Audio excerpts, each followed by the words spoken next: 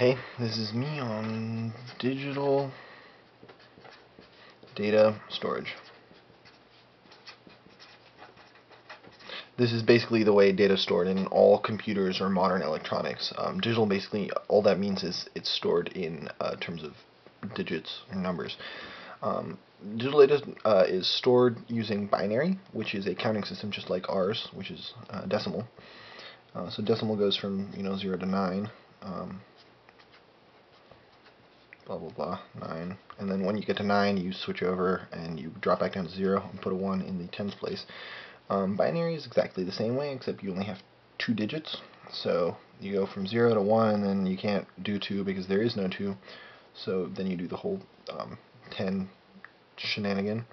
So, and then 3 is 11, um, 4 is 100 because you know you can't uh, increase either of those. 5 is 101 or 101 um, technically. Anyway, and so all digital data is, or almost all digital data is stored in terms of uh, bytes. Um, bytes are sequences of 8 bits, and a bit is a 1 or a 0. So one byte is 8 ones or zeros.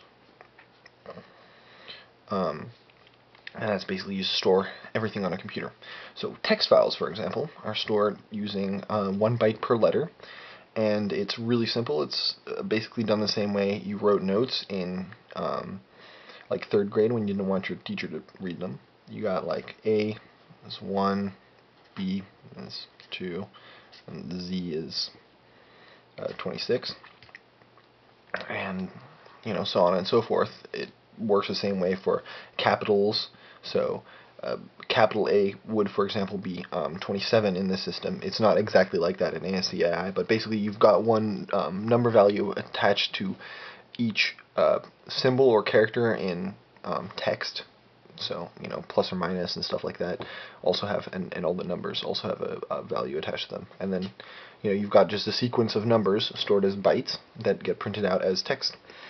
Um, for pictures, it works the same way uh, pictures on a computer are made up of little tiny dots, and each dot is subdivided into three smaller dots, and um, those dots are lights.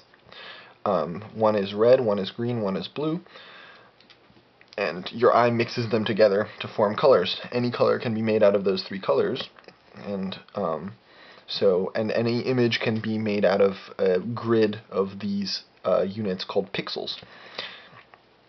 And the way the color data is stored is you've got three of these bytes, one for red, one for green, one for blue, and they store the brightness of the lights in there. So if you've got a really bright red light and um, you've got uh, blue and um, green turned all the way off, you get a red pixel.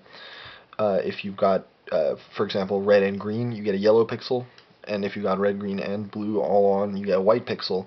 And if they're all off, you get black, and so on and so forth. Um, video is done exactly the same way, except it's just picture after picture after picture that and uh, they're uh, shown to you in rapid succession and it creates an illusion of motion. And then the last interesting one is sound. Um, sound basically were, uh, works using vibrations in the air. Is that's what sound is, and so those are represented as waves. Um, waves have two properties. So you've got a wave. It's got a wavelength, which determines the pitch, and a um, amplitude, which determines the loudness. Um, so in a computer, you can't store something smooth like this in a really simple uh, way. So the um, way uh, wave is stored is you've got a plot, basically. You got time on one end and um, amplitude on the other. Um, and you've got your wave in there.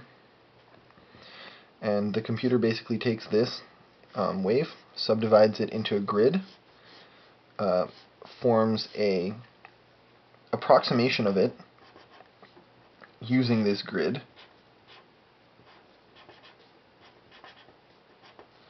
um, and then transmits that in terms of numbers, so coordinates on a grid. And that's basically it um, yeah, thank you. Hopefully you learned something, and uh, I'll make more of these if people are interested. Bye.